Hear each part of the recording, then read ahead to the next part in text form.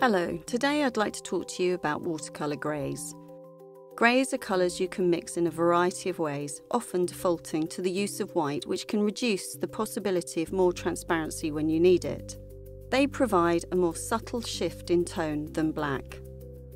This is Davy's Grey, a slate pigment developed by Winsor & Newton. We're not certain why it was named after Cotman student Henry Davy, but it's a beautiful transparent grey with a greenish tinge. Now look what happens to the manganese blue when I add Davy's Grey to it.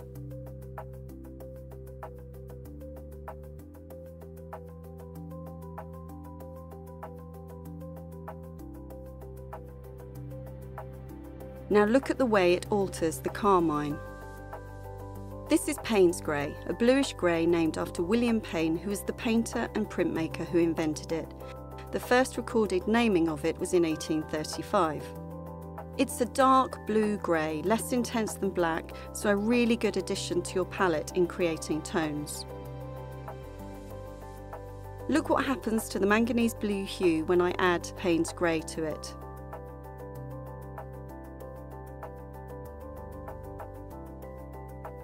Now look at the way it alters the carmine.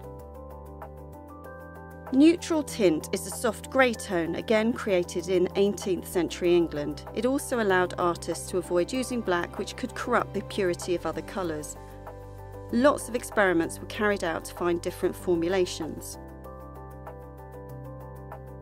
Look what happens to the manganese blue hue when I add the neutral tint to it.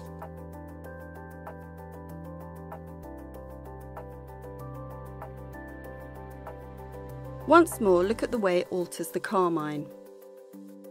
You can explore tone in your palette with each of these greys, all of which provide a different subtlety. I hope you enjoyed learning about greys.